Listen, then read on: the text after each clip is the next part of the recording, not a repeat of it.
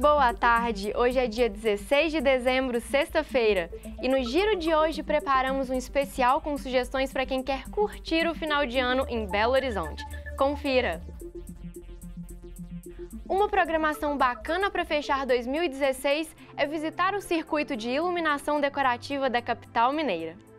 Além da Praça da Liberdade, que todo ano recebe uma nova iluminação, o circuito inclui também a Praça da Estação, da Savassi e da Semig, além das avenidas Afonso Pena e Brasil. As luzes se acendem todos os dias às sete e meia da noite. Aproveite e vá conferir também.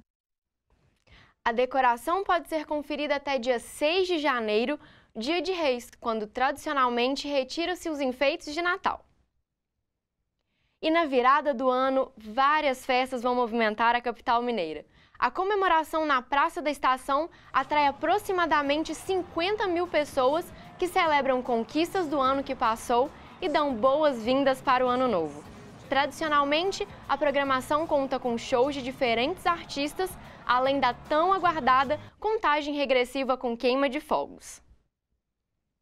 E outro Réveillon que promete atrair os belo-horizontinos é o que acontece na Orla da Lagoa da Pampulha, cartão postal da capital muitas festas vão movimentar a região.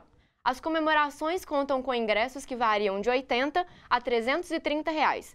Fique atento e pesquise bastante para escolher a melhor opção para você.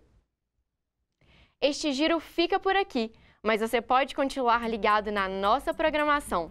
Nos acompanhe também pelas redes sociais. Na próxima semana voltamos com mais retrospectiva de 2016 para você. Tchau!